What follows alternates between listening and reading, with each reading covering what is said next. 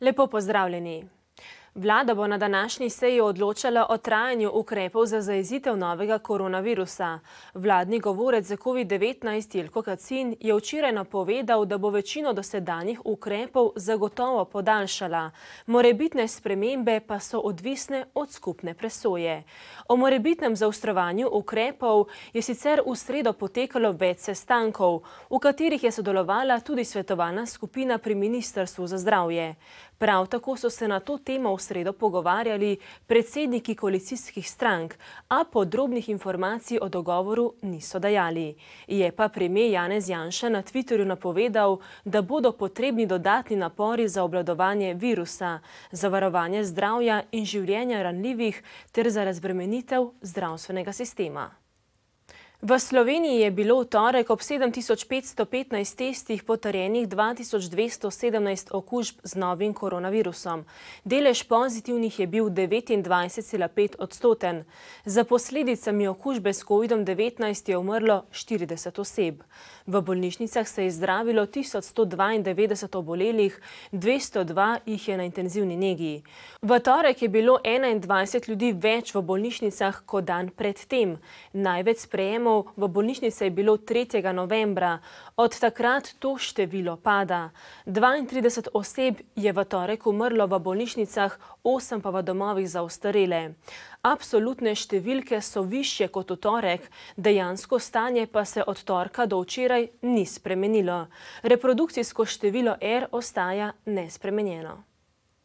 Vlada je na torkovi dopisni seji sprejela predlog tako imenovanega šestega protikoronskega zakona, ki določa začasne ukrepe za omilitev in odpravo posledic epidemije COVID-19 in je težak približno milijardo evrov. Predlog podaljšuje nekatere ukrepe, kot je subvencioniranje skrajšanega delovnega časa, prinaša pa tudi nove, med drugim delno nadomestilo fiksnih stroškov prizadetim podjetjem. Ker se razmere izjemno hitro spreminjajo, z naslednjim tednom stečejo priprave za hitro oblikovanje sedmega protikoronskega zakona, ki bo namenjen blaženju posledic epidemije v dejavnostih, ki doslej s paketi v celoti niso bile zajete. Ker se epidemiološke razmere v Sloveniji le počasi umirjajo in občutijo najhujše posledice prav v gospodarstvu, so poslanci dobili v roke tokrat že šesti predlog protikoronskega paketa. Ministr za finance izpostavlja, zakaj je vlada tako ravnala. PKP 6 je glede na razvoj epidemije nujen. Nujen je predvsem zaradi tega, ker se tako kot na zdravstvenem področju povečuje tveganje tudi na gospodarskem, finančnem in socialnem področju.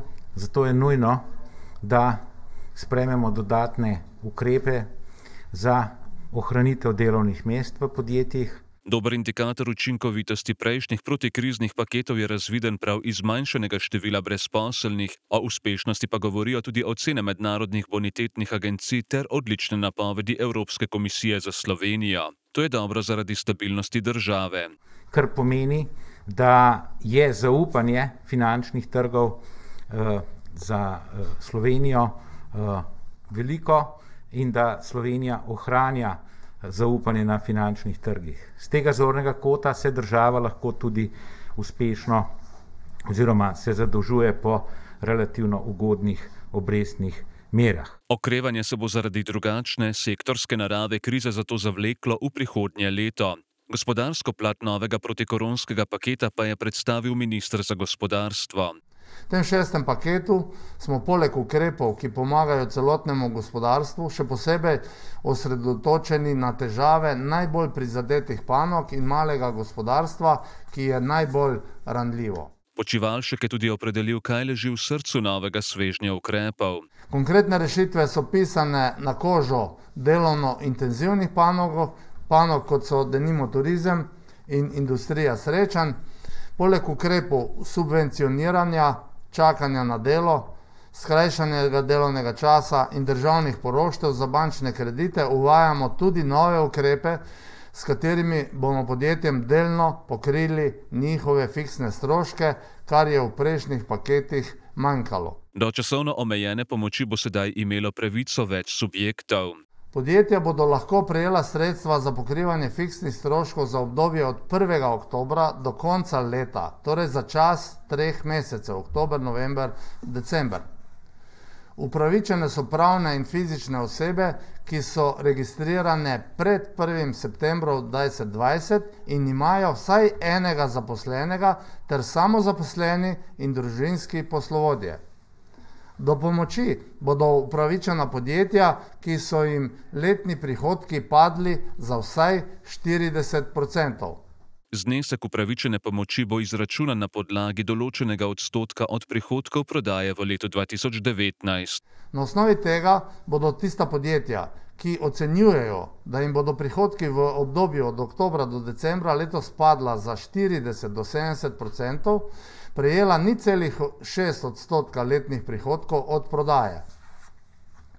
Tista, ki jim bo promet padel za več kot 70 odstotkov, pa bodo prejela 1,2 odstotka letnih prihodkov od prodaje. Zaradi nevarnosti širjenja okužb tudi na delovnih mestih bo ministrstvo v podjetjih omogočilo izvajanje virtualnih skupščin ter določilo potek in glasovanje, kakor tudi preverjanje identitete udeležencev. Prva koalicijske SMC Zdravko Počevalšek je za POP TV dejal, da so se na seji izvršilnega odbora stranke dogovorili, da se sestane z vodilnim pobudnikom koalicije ustavnega loka Jožetom P. Damjanom in ga seznani stališčem stranke.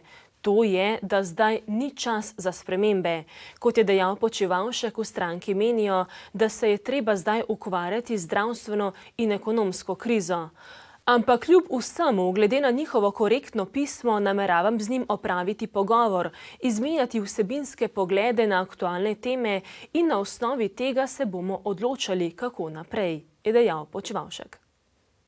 Strokovna javnost bo na današnji že 11. nacionalni konferenci obladovanja sladkorne bolezni iskala odgovore na izzive, ki jih tudi v luči epidemije COVID-19 prinaša ena najbolj razširenih kroničnih bolezni zahodnega sveta. Sladkorna bolezen je namreč tudi v Sloveniji velik javnozdravstveni problem, saj število sladkornih bolnikov v zadnjih letih narašča. Kot kaže poročilo NIAZ, je bilo v letu 2019 število število oseb znano sladkorno boleznijo v Sloveniji ocenjeno na 136 911. Delež sladkorne bolezni v Sloveniji je ocenjen na 8,2 odstotka, v letu 2010 pa je bil 6,6 odstotka. Poglejmo še vreme. Danes in jutri bo na primorskem pretežno oblačno, drugod pa se bo sredi dneva in popovdne delno zjasnilo. Več sledi v vremenski napovedi.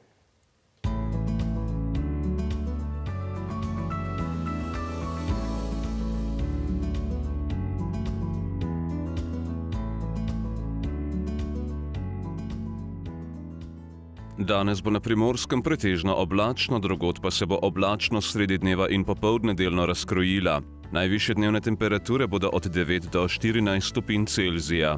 Jutri bo na primorskem po večini oblačno. Drugod bo delno jasno, a zjutraj in do povdne po nižinah oblačno in megleno. Najnižje jutranje temperature bodo od nič do 4, v alpskih dolinah do okoli minus 3, ob morju okoli 8, najvišje dnevne pa od 9 do 14 stopinj Celzija.